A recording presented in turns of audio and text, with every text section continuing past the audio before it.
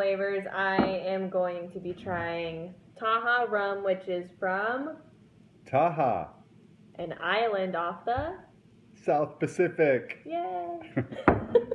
um, so this is the original rum, not you know modified or anything, but they went ahead and put vanilla from the island as well and put it together. So that's what I'm going to be trying today. Oh, I thought everyone was gonna clap. No. so my initial rating of Taha rum with vanilla, one being the best thing I've ever tasted and ten being the worst thing I've ever tried, I'm going to give it an eight because I watched everyone try it before I did and they all freaked out. So I think I think that's a safe rating. I'm. He's just sniffing out there. I'm just gonna try a little bit. Oh, he's going behind the couch like it. That's all you got over there. That wasn't bad. That's good. You're drinking vanilla coke. Yeah.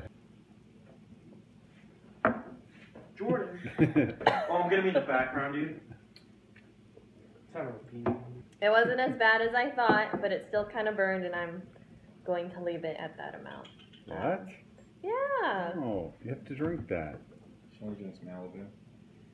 Boo. Come on, said he would throw finish it. I'm already on whiskey. All right. Jordan scared me Here, when he said he would throw I'll, up. I'll do this. Oh god. Just to sample it.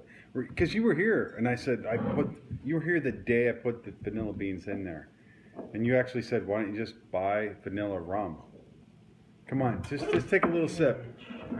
Remember that, though? You go, why, It's why do you strong. want to make it? So my new rating of Taha's rum with vanilla Oh, being in it, that. one being the best thing I've ever tasted, and ten being the worst thing I've ever tried. Oh shit! He just ran into the fence. So my new rating of Taha's rum with vanilla bean, one being the best thing I've ever tasted, and ten being the worst thing I've oh. ever tried. I'm gonna give it a six. A six because it wasn't as bad as I thought, but it still doesn't taste that great. Yay. Okay. Oh,